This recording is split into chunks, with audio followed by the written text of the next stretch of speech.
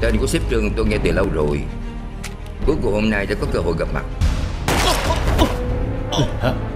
Cậu ta chính là gián điệp.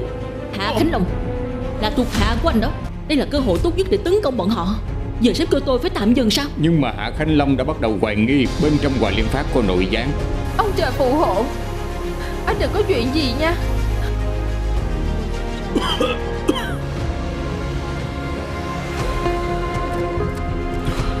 Ô Bình